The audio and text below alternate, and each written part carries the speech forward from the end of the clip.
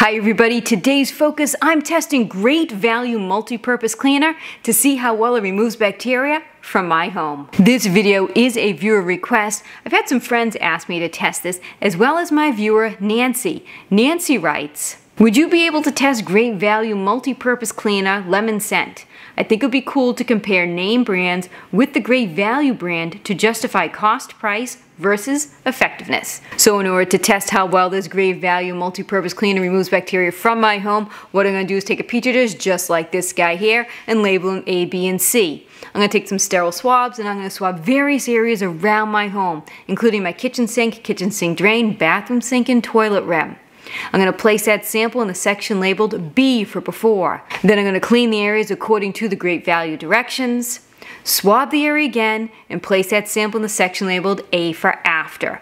This way we're going to be able to see how much bacteria is on a surface before and after cleaning with the Great Value spray. So let's read the bottle and see how we're supposed to use it. So right on the front here it says Great Value Lemon Scent Multi-Purpose Cleaner kills 99.9% of germs.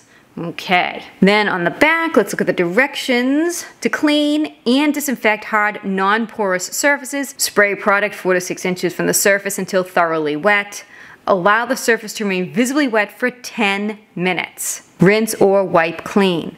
Now, for surfaces that may contact food, you need to rinse it with water after the 10 minute contact time. So that's what we'll do. We'll spray, let it sit for 10 minutes, wipe, and then swab again for after. So let's see how well the Great Value Multi-Purpose Spray removes bacteria from my home.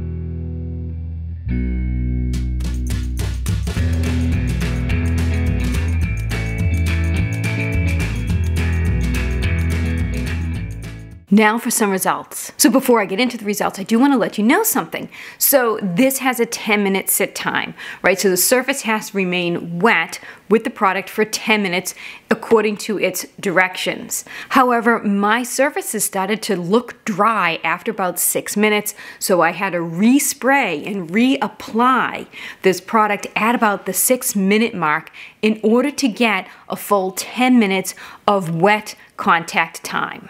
The kitchen sink. In the before section, there's a tremendous amount of bacteria.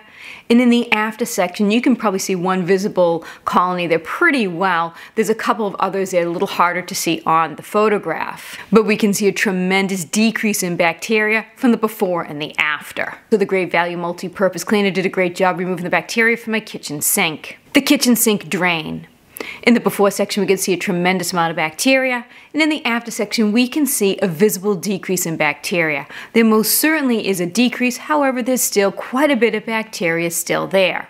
So the Great Value Multi-Purpose Cleaner did an okay job at decreasing the bacteria in my kitchen sink drain. The bathroom sink. In the before section, we can see a tremendous amount of bacteria, and in the after section, we can see a visible decrease in bacteria, but there's still quite a bit of bacteria hanging around. So the Great Value Multi-Purpose Cleaner does an okay job at decreasing the bacteria from my bathroom sink. The toilet rim.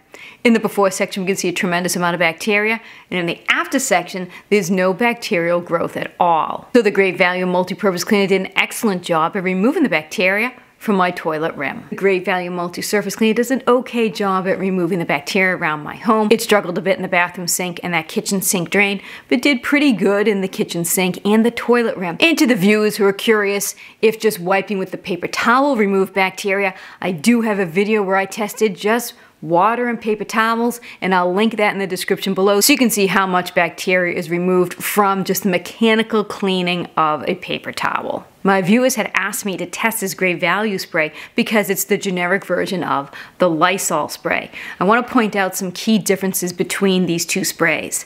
Now on the labels it looks like they're very very very similar active ingredients, but the directions for use are different. One of the bigger differences is the sit time. The sit time for the Great Value spray is 10 minutes, having a surface remain wet with the solution for 10 minutes. But for the Lysol product, it says remain visibly wet uh, 10 seconds for sanitizing and 2 minutes for disinfecting. And I believe when I tested this one, I have a video for it, I'll put in the description below. I think I just did the 10 second time on it.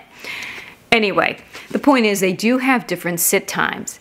There's also a price difference. At my Walmart, the Great Value Spray costs $2.97 for a 32 ounce bottle. The exact same Walmart, to get the Lysol version of this, it's $3.97 for a 32 ounce bottle. So the Great Value version is $1 less than the Lysol version at my Walmart. As for the scent of the product, it's lemon scent, and it's that fake chemical type lemon scent that a lot of these cleaners have.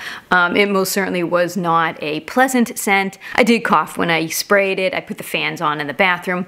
Not a pleasant scent. Um, it is a very chemical laden uh, lemon type scent. The scent does not linger, so after the surface was dry, I didn't notice the scent at all. I'm sure there's gonna be a handful of viewers that comment telling me, well, I'm not gonna wait 10 minutes, so can you just do a video where you're just gonna spray and wipe it like everybody uses it? No, I won't do that. I follow directions on the bottles when I'm doing these tests because that's how the manufacturer has decided that this product should be used. So if you want to use this product in your home, you have to follow the directions, which is keep the surface wet for 10 minutes. And that might even mean respraying halfway through although I am curious to see if you do the 10 second time.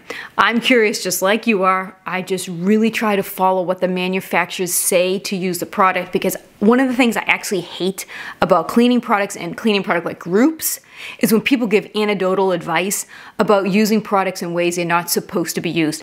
The prime example I can give you guys is toilet bowl cleaner. If you're on any Facebook group right, that is for cleaning products, and someone's like, oh, I'm having a hard time cleaning my shower floor, and you start seeing people, oh, use the Lysol toilet bowl cleaner, use the Zep toilet bowl cleaner. Ugh, I hate that. I do not like when people use products that are formulated and labeled to be used for a very specific way and then take them and use them in a different way. So that's one of the reasons why I do try to follow whatever the directions say. In this case, it's a 10 minute sit time, although I'm curious too to see if it could do a 10 second time. But overall, I do think the Great Value Spray did an okay job. So thank you to the viewers who asked me to do this test. If there is a product that you would like me to test, do me a favor and put it in the comment section and I will add it to my viewer suggestion list. I hope you enjoyed this video. Take care, have yourselves a great day.